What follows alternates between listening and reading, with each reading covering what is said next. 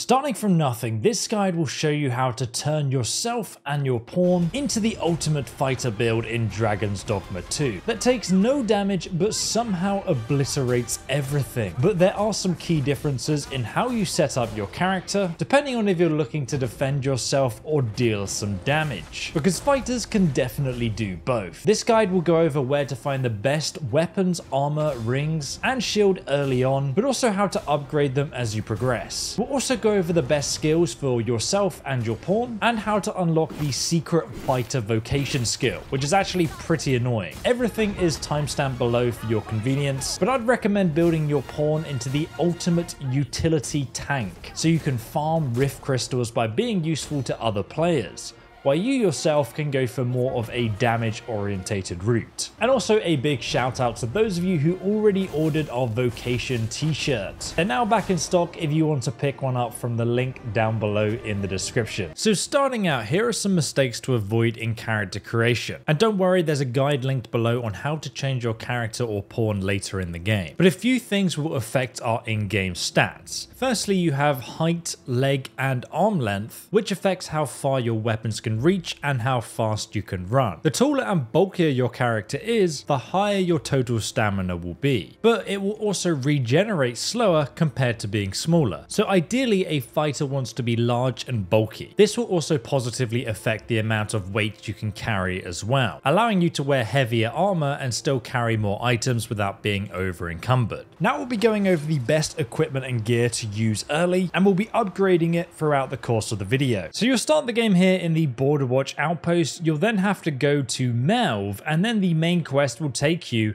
all the way south to the city of Vernworth. You come here very early on, and this is where this guide is going to start. In the center of the city of Vernworth, you're going to find the merchant's quarters. And from here, we want to go south to the Shakir's Inn. So I'm standing in the merchant quarters right here, but if I turn around and go up the stairs towards the church and then go left, you can go up these stairs towards that inn I mentioned earlier. But instead of talking to the innkeeper, you're going to go up these stairs to the bedrooms. And just go past the bedrooms where you'll find a balcony just at the edge here. And if you climb up this ladder, it's actually possible for us to get some secret loot. And one of the best weapons you can get early for a fighter. So jump over here and then jump to this corner of this building and right here, you can work your way up to the church bell tower. Now you will find a Seeker's Stone which you're going to want to collect and a bunch of treasure chests. And if you loot this one just here, you'll get the Silver Rapier. Now as you can see, the Silver Rapier does 184 damage. In fact, the Silver Rapier is actually the best weapon you can get early on in Dragon's Dogma until much later in the game. So it's definitely worth upgrading as soon as you get it, which I'll talk about more at the end of the video. But now we need to get a much better armor set because this one is terrible. So next Next, from the Vernworth Merchant District, we're going to travel all the way south through the Vernworth Noble Quarters. Keep following the road until you arrive at Vernworth Castle just here on the map. You can see I'm standing at the front gates just here, but we're actually going to go to the left where you're going to see this big sort of pillar building and we're going to hop up here. We're going to run over to this well where there's a ladder which we can actually climb down. And right at the end, we're going to find a hidden chest which we can open.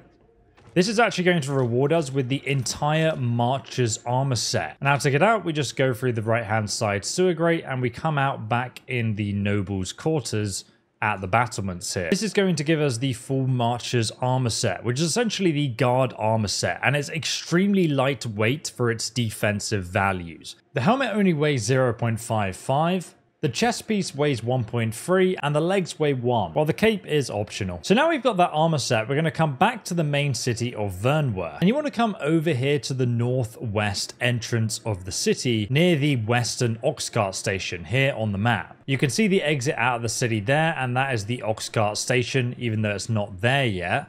And we actually want to come all the way around here and back up towards the noble quarters. Now, if you run up here and around, you'll see there's kind of like these uh, little planters and flower beds.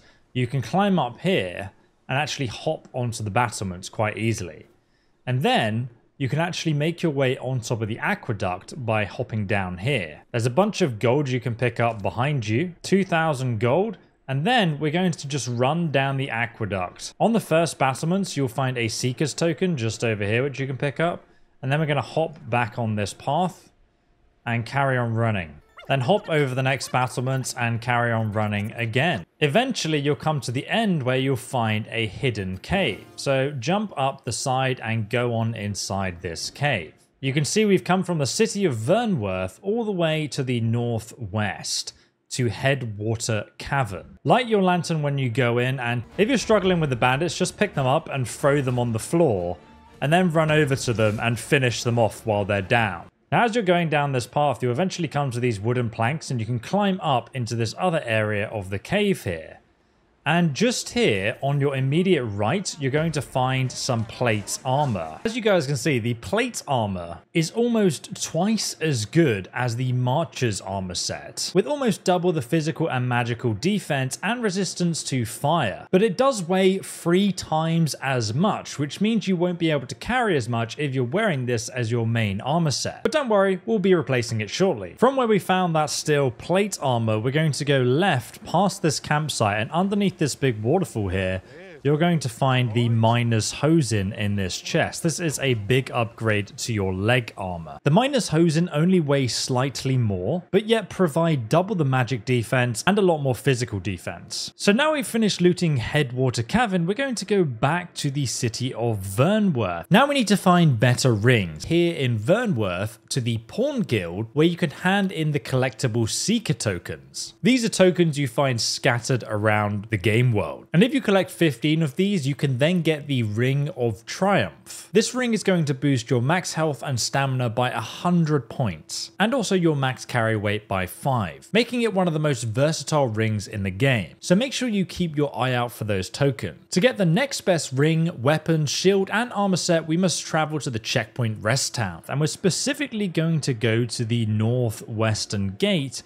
where you're going to find the Oxcart station, just here on the map. Here's the gate, and here is the Oxcart station. Now, if the cart isn't there yet, just hold down B and await the ox cart. The game will then wait until this gentleman with the hat arrives and you can talk with him and he'll take you to the checkpoint rest town for 200 gold. So then just go ahead and jump in back and we'll be off. This will bring you directly to the checkpoint rest town. So this is basically a shortcut from the main city on Vernworth all the way to the west side of the map over here to the checkpoint rest town. So here we are in checkpoint rest town and this is the main market square with the well just here. You will pick up a bunch of quests when you arrive but we want to go to the left here where you're going to find a small weapon store just in here on the left. And if we speak to this lady here, you can actually buy the next upgrade for our sword, but I will be showing you where to get 20,000 gold in a moment. But now we're going to go to the ring section and we're going to buy the Ring of Tenacity. It increases your max stamina by 90 points, perfect for blocking as a fighter build. So next we're going to be grabbing the best shield, ring, and also a bunch of awesome weaponry and armor. So starting from the checkpoint rest town just here on the map, we're going to go northeast across this bridge we're then going to carry on going north down this rocky valley just here, continue down this valley past this campsite until you reach the ancient battleground. You should be able to work your way around the edge of the ancient battleground until you come through a portcullis on the other side of it. This is where we're going to be finding our next NPC quest, located just here on the map. He's going to guide us into the ancient battlegrounds where we're going to find a bunch of secret loot. So from the checkpoint rest town, we're going to head out of the town. Then we're going to go northwards to the left here. Carry on going northwards down this valley until we reach this large ravine now you can just go ahead and ignore all the enemies and just run down the valley straight on. Eventually you'll come to a woodland at the bottom, just head through that woodland and past this campsite. You'll see some light up ahead and this is going to lead you to the ancient battleground so you'll see a dragon and cyclops battling. Now if you run to the left of the ancient battleground you can quite easily avoid the drake that's sitting in the middle until you get to the campsite on the other side here. Now if you head to the left around the edge of the Forsaken Battleground, you can quite easily avoid or run from the Drake that's sitting there in the middle. You can see there's a big gate on the other side here, and if you run back out of this gate through these ruins, you'll find someone being attacked here. Here we're going to find Oscar fighting some harpies. You're going to want to save him because he's actually going to send us on the next quest, and it's easier if we have his assistance. Though to be honest, you can just speed run through this part of the dungeon, ignoring all of the enemies if you want to. He'll then actually be your guide and you can follow him to the next part of the mission. If you actually search the ruin just to the left of where he was standing, just south of the crossroads here on the map, you will find a free location to obtain the Shield of Vernworth, a massive upgrade over your original shield, but don't worry, we'll be replacing this with a much better one very shortly. But now let's follow him back through the gates into the ancient battleground. And there is a campfire on the left there if you want to rest before venturing onwards. You can see the dragon and the Cyclops still battling in the background there. Pretty awesome view. So follow him all the way to the top and eventually you'll reach the entrance to the castle here. There are some skeletons inside which you can either run past or kill. If you just sit here and defend the mages, Oscar will help you kill them all pretty easily. From the entrance, you can then follow him up this spiral staircase, and then come up the spiral staircase and climb this ladder just here. Then if you follow these blue little lanterns, it will then lead you to another hidden cave area. But if this video has been helpful so far, please do leave a like in return. They do take quite a while to make, with a few more skeletons to take out once you come down. After you come down the ladder here, you're going to want to come through this little archway to the right. Just carry on following our guide. He's going to guide you up the stairs here and then to this room on the right hand side where he'll show you a bell and a tome.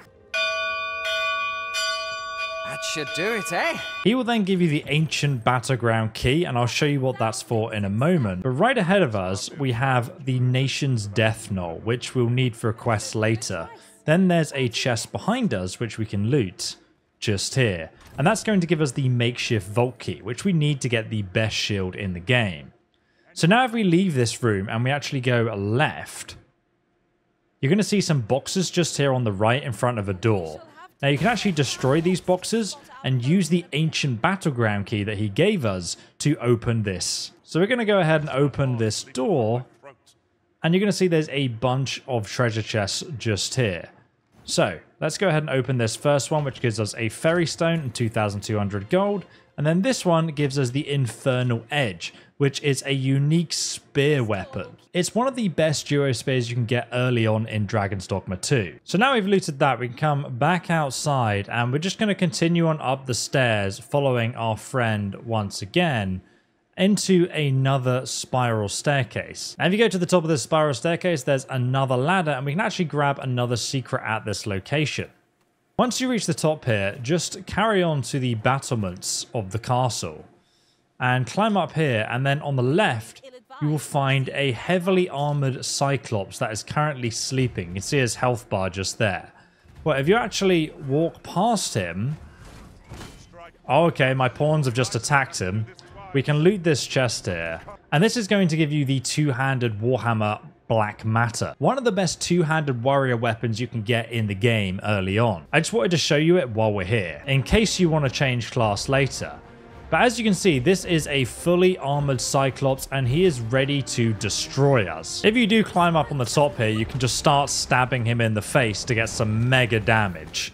Now the reason you want to kill this particular armored Cyclops is for the unique weapon that he drops. And then just keep shield bashing him in the ankles after the armor's off and he'll fall over so you'll be able to defeat him. As you can see, he drops the Malorian Cyclops Veil. Now this is an incredible helmet for a warrior. Now, if you climb up this ladder to the left of that chest we looted, you can then jump over this barrier here and you'll find a secret cave hidden behind this location. Turn on your lantern and go into the World's End Cavern. Carry on heading into this area until you find some bandits which you can easily kill. And next to the campsite, you will find a hidden brass patterned camping kit, which as you can see looks very pretty. Now, if you carry on further into this dungeon, you eventually come to a hole now on the right of this hole, there is a big rock that you can actually destroy. This was the entrance, we came to this campsite and then we went right and then all the way down here until we found this hole. We're now going to break away this little section down here so we can continue onwards and through this cavern until we get to this next T-junction here on the map. Now, once you get to this T-junction, you can see you can go right here, or if you go straight on into this next room, there's a bunch of collapsed pillars. And just at the back down here, you're going to find a giant ore supply. I mean, look how much ore's in this room. It's ridiculous. Now, if we come back to this T-junction and go to the right, we're going to get the best ring in the game for the fighter. Come into this next room and you will find a little display plinth with a few skeletons in. This is the Ring of Grit. Now, the Ring of Grit reduces the stamina cost by 25% for blocking with a shield. This is by far the best ring for a fighter in the game. In fact, we can actually get another one in the late game to reduce the block cost by a total of 50%. So make sure you subscribe for the next fighter endgame guide where we'll go through those details. You can also find another chest at the back here with 5,000 gold but there are a couple of ghosts waiting to ambush you. Now, after you've looted this area, just come through to the right here and then head upwards and you'll find the exit to this cave. Do take care though, because all of these guys are enemies, so you're going to want to run on past them. Head through this next cavern that takes you to the mountain shrine. So now if you want to get the best shield in Dragon's Dogma 2 early on, you're going to come back to the city of Vernworth after you've got the vault key, which we collected earlier. And once you're in the city of Vernworth, you can come south all the way through the noble's quarters to the Vernworth castle just here. This is the castle gate and you'll see the entrance to the castle right ahead. Sometimes there are guards standing at the front entrance, but you can just wait for someone to come on inside and then just open them. Even though they tell you you're not allowed in there, it doesn't matter. Come to the left and open the door to the Great Hall. If you do want a unique cape, there is one hidden behind the throne there, but we're actually going to go to the left and down here. And then if we look to the right, you can head straight on and you'll see a staircase leading down into the depths of the castle vaults. Now, there's a few different ways to actually enter this location, but we have the key, so we can do it the proper way. Sometimes there will be a guard here, and if there is a guard, all you need to do, retrace your footsteps until you get back to this corridor. There's a doorway just to the right here that leads to the kitchen. What you're going to do is grab one of these barrels. You're going to aim the barrel at the guard down here while standing at the top of the stairs, throw the barrel at him, and as soon as that hits him, he's going to start sprinting towards you. You can then pick up that guard and run all the way up the stairs with him, throw him as far as you can away, and then you can sprint back down to the vault and there'll now be nobody standing there. So you can walk over since you have the key and press B to open it and your character will get that vault key out and use it to open the doors. Now when you come inside this location, just come to the left here. There's actually a secret treasure chest, has 20,000 gold. We're going to need that in a moment. And then there's a chest just here which has a unique cape in it, the Worm Hunter cape, which is an Easter egg from Dragon's Dogma 1. But then most importantly, right here, we have the Daughter of the Evening Shield. Now the Daughter of the Evening Shield is quite a heavy shield, but it is one of the best in the game since it has the third highest knockdown power. Especially once upgraded, this shield is able to knock down most enemies in one hit, if not most monsters, by staggering their legs. It also has a secret effect where you can actually use it to reflect the baleful stare of Medusa back at her, turning her into stone. There's also a decayed Medusa head and a ring of reassurance. Now, efficiency wise, this is arguably the best moment in the game to buy yourself better armor and weapons because the next massive upgrade will actually be all the way in the volcanic island camp just before the end game. And if you don't have enough money by now, don't worry, there's a guide linked down below in the description that explains how you can make lots and lots of gold very quickly early on in Dragon's Dogma 2. So just follow that until you have enough money to buy this equipment. And then we can go ahead and buy the best armor and weapons. From Vernworth City all the way back over here to the checkpoint rest town. And once we arrive here, we can go back to select Celesti's smithy just here on the map. You can see this is the ox cart and this is the town center. We're just going to head down this main pathway here where this red shield signpost is. We have the Wing Salat. This incredibly cool looking dragon helmet is the best helmet you can get until much later on in the game. Next we have our body armor. You can either go for the Malorian plate armor, which is also usable if you later change to the warrior vocation, who is the two-handed sword wielder, or my personal favorite is the Dominion armor, which is the matching armor set piece for the helmet we just brought as well. Next we have the leg armor and the Raptor claw armor is going to be the best option here. It also matches the rest of the armor set. Now from here there are a few cape options. The commander's mantle probably looks the coolest out of all of them. And then we have weapons and we're going to go for the Owl Mace, a elemental sword that does 120% ice damage and freezes most enemies you'll be attacking with it. It also has a higher base damage than the rapier and obviously does magic damage. Now if you also give this to your pawn, it's super handy because it actually freezes a lot of enemies it attacks, reducing the amount of foes that can attack your companions. So if you personally are playing a fighter build, these are going to be the best skills that your character is going to want to use to achieve lots of damage. However, the pawn skills are actually different, so we'll go over those in a moment. Firstly, we have Airwood Slash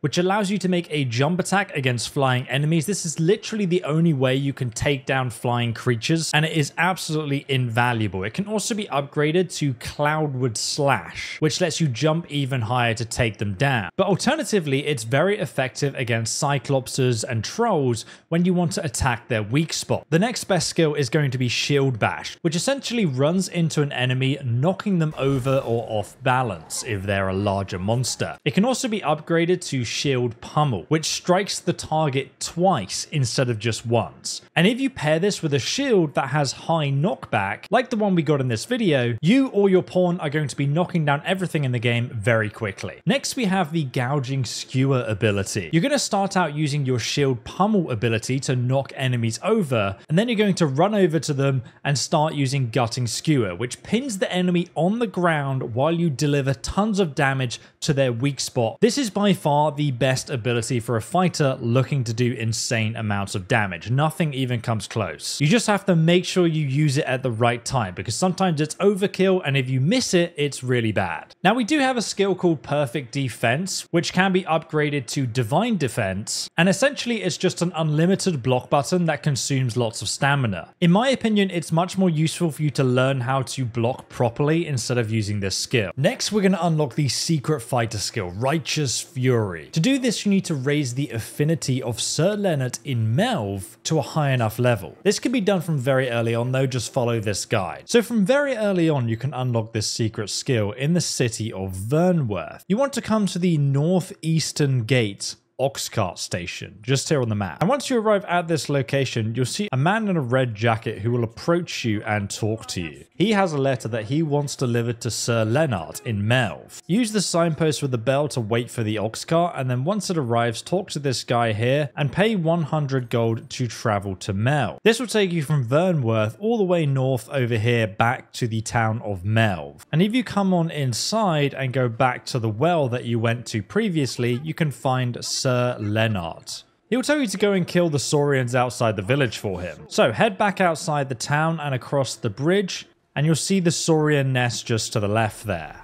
You can use the provided explosives to kill them or just go there and kill them yourself. After they're dealt with, head back to the village and report that you've done it. This will also allow you to deliver the letter to him. He'll also give you the next part of the quest, which is to drop a jar of poison located just outside the village onto the Saurian nest so they don't come back. Now, it's very important you don't accidentally throw this into the river because you'll poison the village's water. You can then head back to town and report back to the captain. Now that's done, we need to take the ox cart back to Vernworth and we need to claim the other quest reward for the delivered letter. Then, if you haven't already, you'll need to finish at least one of Brant's main quests. Sneaking into the castle is the fastest one. Then after you've done one of those, make sure you also hand it in afterwards. It will trigger the Melve Dragon attack. So make sure you save at the inn before doing this next part. You're going to want to take the ox cart back to Melve, and as you arrive, you'll see the dragon attacking. You'll need to repel the attack in order to succeed. And the easiest way to do this is just to run straight up the hill to the tower, which has the ballista right at the top. Now you will need your pawns to help you move the ballista and rotate it around. Then you can aim at the drake and fire the ballista to make it run. Now interestingly, if you hit it three times, it is possible to actually kill the drake, which rewards you with a really cool weapon, but it also currently breaks an important quest. So I wouldn't actually suggest doing that right now. Instead, just repel the drake and then afterwards you can talk to Sir Leonard. At this point, his affinity should be high enough to immediately reward you with the soldier's code. If he doesn't give it to you, you must raise his favor even higher by either doing escort missions or giving him interesting or expensive items once per day. He seems to like the common goblin horns, for example. But you can check out our wiki for more information on that. If you now read the soldier's code from your inventory, you can learn the secret fighter skill for yourself and also your pawn. This unlocks Riotous Fury. This rains a flurry of blows on the target, dealing massive damage at a great cost of stamina. It's usually overkill on most targets, but the damage is far greater than the gutting skewer ability. Do take care using it though, because if you miss the first strike, it will actually leave you vulnerable to attack. I always find the best time to use this ability is, is when you ground an enemy so it's lying on the floor and you can hit its weak point from the ground. At this point, you can just deal tremendous damage to that enemy, as you can see here in this example against the Griffin. So now we're going to be going over the best pawn skills. Starting out, we once again are using Cloudward Slash. This really helps out other parties that are going to be employing your pawn and allows them to deal with flying creatures. The next ability that is invaluable for your pawn to have is Shield Summons which can be upgraded to Shield Drum. This basically just aggroes enemies that are nearby and draw them towards your pawn so it can tank them effectively. Now you can use this on your main character as well, but to be honest, as long as you have a brain, it's pretty easy not to waste a skill slot on this ability and defend your pawns, unless you're going up against a particular boss and you find you're losing aggro. Whereas other people will be employing your pawn to act as a tank in their party, so Shield Drum is really important. The next ability is Springboard, which can be upgraded to Launch Board. And this is really important to have on your pawn for its utility. It allows other players to access secret treasures by instructing your pawn to use this ability so they can jump up and grab out of reach chests. Having this skill is going to allow you to jump straight onto their most vulnerable position without wasting any stamina. And the next skill I highly recommend is Shield Bash upgraded to Shield Pummel for the reasons I mentioned earlier. Even your pawn can use this skill to massively stagger and just take out enemies. Anyone on the ground cannot fight you. Now when it comes to upgrading your equipment, I'd only bother doing so once you get the best gear from the checkpoint rest town, since there's then going to be quite a gap before you get the next level of gear. Upgrading your gear with Dwarven Smithing will give you the highest knockdown resistance, especially your shield which will then stagger and knock down monsters more easily. You can check out this next video guide on how to do that and I will see you there.